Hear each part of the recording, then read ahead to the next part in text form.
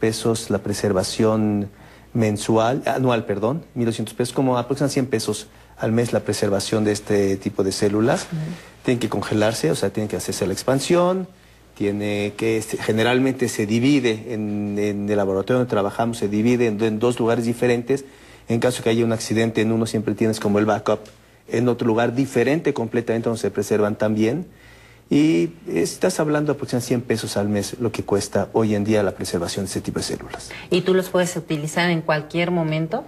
Eh, son bancos de preservación. Si son bancos de preservación, ellos no tienen el permiso en los Estados Unidos por la FDA, de, ellos no pueden expandir. Ellos lo que pueden hacer, si en un momento necesitamos algo, el paciente mismo le pide a este banco que expanda las células o bien que las mande directamente al centro donde se va a efectuar el tratamiento para este niño, esta persona que la está requiriendo.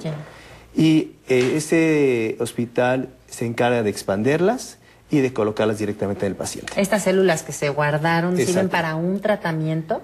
Una vez utilizadas ya perdimos digamos, esta posibilidad? Es muy buena pregunta. en, las, en el caso de las células madre dentales, como tiene esa capacidad de expansión y multiplicación, Tú puedes descongelarlas, expanderlas. Por ejemplo, imagínate que creamos 100 millones de células. Puedes separar un millón y volverlas a congelar otra vez. Y se ha visto que hasta cuatro o cinco pasos que se llama, en cual tú eh, descongelas, congelas, puedes mantener la misma calidad de células. Después de la cuarta o quinta pierden plasticidad la célula, entonces ya no, ya no es tan buena. Pero si lo pensáramos que tengo dos lugares diferentes donde estoy guardando, y tengo aproximadamente 4 a 5 tratamientos potenciales que se pueden efectuar. Está hablando de 10 diferentes tratamientos que pueden eh, utilizarse hoy en día. Entonces, ¿sería exitoso o es 100% exitoso, por ejemplo, si lo está utilizando la persona de quien extrajeron las células madre? Me hablabas, eh, Silvio, de compatibilidad cuando se trata de algún pariente. ¿Cómo, se, cómo, se, ¿Cómo saber que somos compatibles? ¿Es por el tipo de sangre? Claro, la, muestra que se congela, ya sea de cordón umbilical, de médula ósea, de diente, incluso de tejido menstrual, eh, es, es, principalmente para que lo utilice el propio paciente porque es 100% compatible. ahí no hay problema. Ahí no habría ningún problema en ningún momento. Pero también se puede hacer una prueba de compatibilidad parecida a la que se hace para los trasplantes. En algunos casos, en familiares, en familiares cercanos, le puede servir o cuando se encuentra a otra persona que tiene esa compatibilidad, entonces sí se puede donar esa muestra. Que de hecho así es como se empezaron a hacer los trasplantes de médula ósea para este, leucemias generalmente se utilizan las este, eh, muestras donadas ¿no? de otra persona. Ahora tú comentabas que también se puede extraer muestra del flujo menstrual. Sí, existen también eh, células madre endoteliales y mesoteliales que son eh, específicas que están en, el sangrado menstrual. Entonces es otra fuente que, que, pues si no es un material de desecho, ¿no? Y se podría este, procesar unas cuantas veces. En ese sentido, una mujer, por ejemplo, tiene la capacidad de muchas veces durante su vida eh, poder producir células madre, ¿no? Y en cuanto a costos, por ejemplo, tratándose de esta forma de extracción. Sí, más o menos eh, la, eh, la, extracción tiene un costo por evento y otro costo por mantener la muestra congelada, ¿no? Por mantener la, la muestra congelada al año estamos hablando de uno, entre 100 y 200 pesos mensuales, dependiendo del tejido que se, que se congele. Y más o menos en el caso del cordón umbilical, una, un, promedio de, costo eh, por la primera congelación de, la mayoría de las células, estamos hablando entre 10 y 15 mil pesos dependiendo del tipo de paquete que se maneje. ¿Por qué es importante esto? Porque como mencionábamos hace un momento también, la muestra se puede o hacer crecer o hacer multiplicar en el laboratorio in vitro o desde el inicio fraccionarla en diferentes viales o en diferentes bolsas para tener no todas las muestras junta en una, en una sola, en un solo bote, sino tenerla eh, separada. De esa manera, cuando la vas a utilizar, depende de la necesidad de células que tú necesites, puedes utilizar una, una porción, dos porciones o más, y decidir si la tienes que hacer crecer o no. Dependiendo del tipo de enfermedad, dependiendo de la técnica, es que se hacen estas manipulaciones o no. Incluso actualmente están apareciendo nuevos biomoduladores, se llaman, que se les agregan a los cultivos para que tú puedas una célula madre hacerla crecer hacia una línea especial, por ejemplo, tejido nervioso o hacia cartílago o hacia otro este, tejido, ¿no? Entonces, se le puede como que pedir a la muestra que sirva para un tratamiento o para otro, dependiendo de la necesidad. Claro. Bueno, y para comprender cómo se extrae del cordón umbilical, los invito a ver la siguiente cápsula. Las células madre que se encuentran en el cordón umbilical representan una excelente fuente en células madre hematopoyética, esto es, las células que intervienen en el proceso de formación, desarrollo y maduración de los elementos de la sangre. De ahí el reconocido beneficio del empleo de la sangre del cordón umbilical para renovar hematíes en personas con anemias o reponer el sistema inmunitario en niños con inmunodeficiencias graves. Ante las ventajas manifiestas de estas células madre, numerosos hospitales e institutos han establecido bancos donde la madre puede depositar la sangre del cordón umbilical de un hijo en beneficio de algún receptor compatible. Pues ahí lo tenemos. Entonces tenemos como diferentes características dependiendo de dónde se extrae la célula madre. Hay como diferentes objetivos que puede cumplir una y otra. ¿Cómo, cómo las clasifican? Bueno, eso va a depender del tipo de enfermedad. Incluso una cosa es la congelación preventiva de las células madre dependiendo del origen que estemos platicando, dientes, cordón, este, eh, tejido adiposo, menstruación, etcétera. Y otra cosa es lo que es terapia celular que es ya la aplicación de estas células. Afortunadamente en México eh, sí hemos tenido la oportunidad de hacer tratamientos. O sea, México es un país ya pionero en tratamientos de terapia celular, sobre todo para corazón, para diabetes, para eh, insuficiencia venosa periférica en diabéticos. Con diabetes, por ejemplo, ¿qué se logra para ir comprendiendo con ejemplos? Eh, en pacientes diabéticos que tienen todavía algo de función de su páncreas, es decir, que están tomando ya pastillas para mejorar los niveles de azúcar, pero su su páncreas todavía funciona, entonces se les puede colocar cerca del páncreas eh, estas células madre para que aumente esa función y que no eh, deteriore este, la, progresión de la diabetes.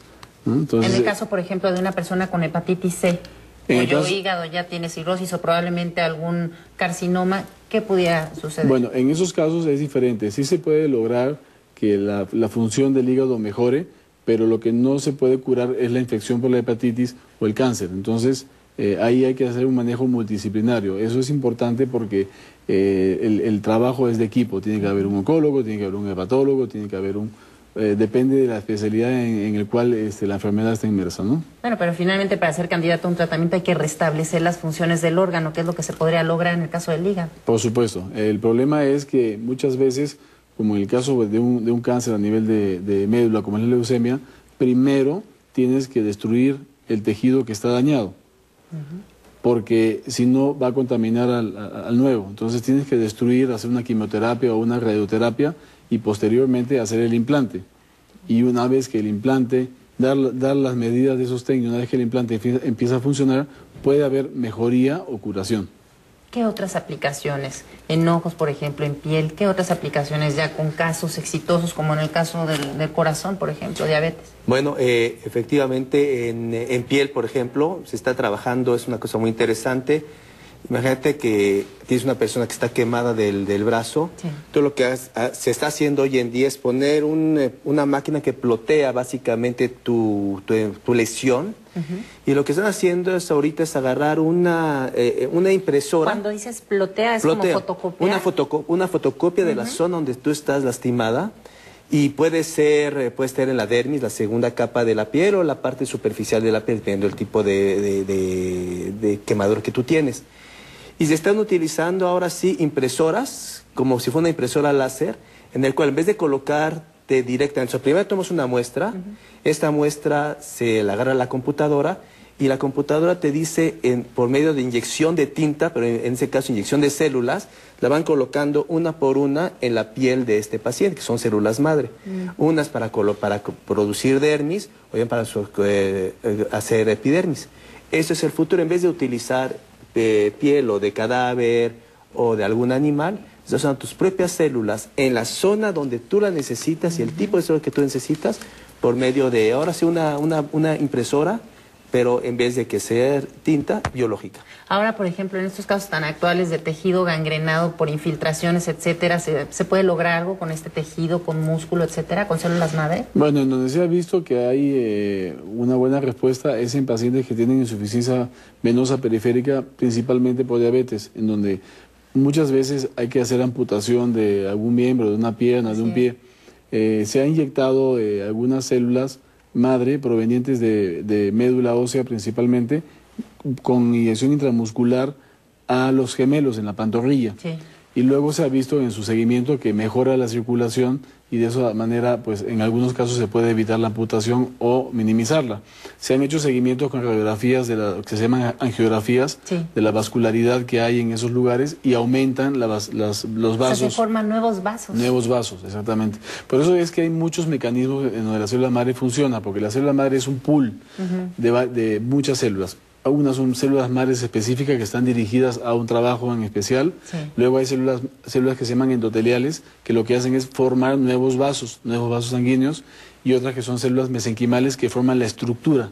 Entonces, la combinación de estas factoras, de estos factores o incluso algunas hormonas o factores liberadores o mediadores podrían ayudar a que el tejido que uno tiene que todavía está funcionando o está medio funcionando se recupere y que se crezca un tejido al lado paralelo y que aumente la función. Bueno, pues es momento de irnos a una pausa, pero para comprender cómo se almacena, los invito a que veamos la siguiente cápsula para conocer cómo funciona un banco de células madre.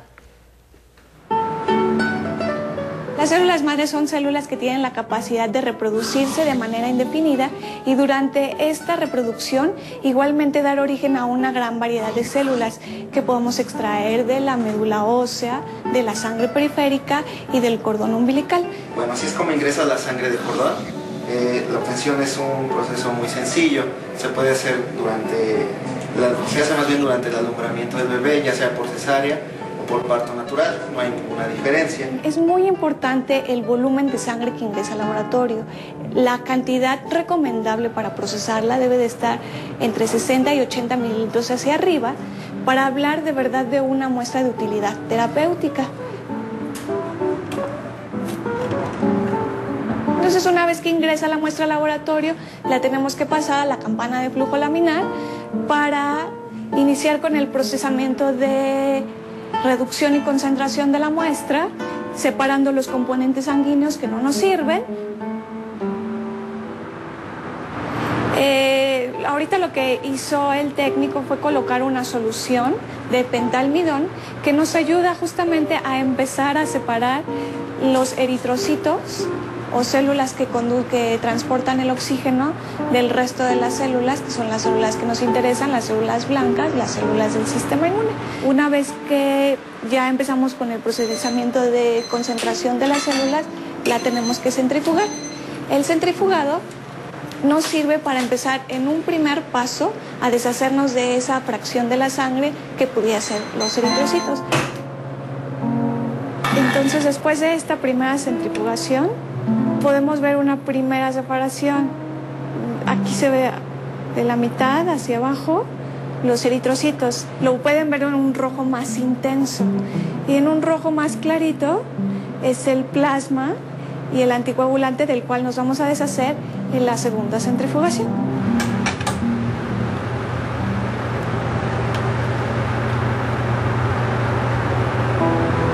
Ahí se queda una hora hasta la siguiente centrifugación.